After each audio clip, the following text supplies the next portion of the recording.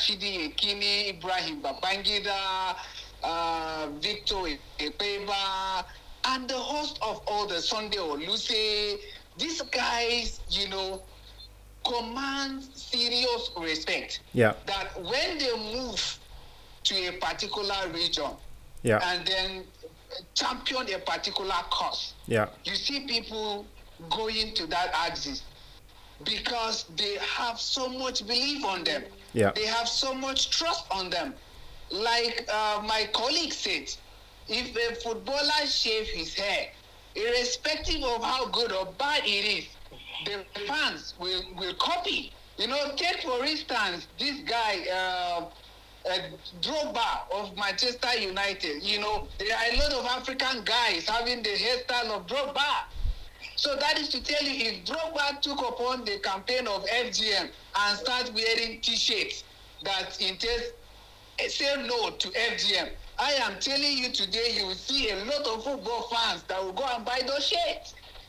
You know, last just last weekend, you know, Friday, we have the Super Eagle captain, uh, Ahmed Musa.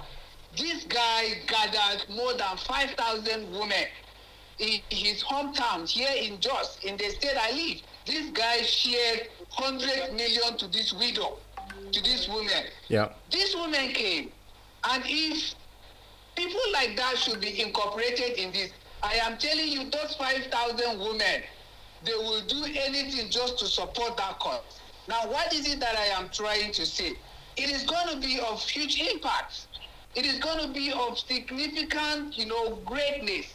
I love this perspective because these guys, in fact, the Yaya Torres on that I saw, in fact, while I was browsing, I already saw some people, you know, hailing him, some fans trying to toe the line. So that is to tell you that this idea has already been widely accepted. So in Nigeria, you know how we move our things here. I am telling you, those guys are going to shake the nooks and crannies of Nigeria, and it's going to be massive. Yeah, not to doubt, it could even be more than some of the advocacy some of us activists have been doing. We command respect, but we cannot dispute the fact that it cannot be co- compared to the one they command. So I am telling you, it is going to be like the popular local adage we have here in Nigeria, shaking the tables. The tables are going to be shaking. I am telling you, this is going to be massive, and I, I really, I really love this perspective. I am telling you, those guys you have selected, no, they are going to move waves.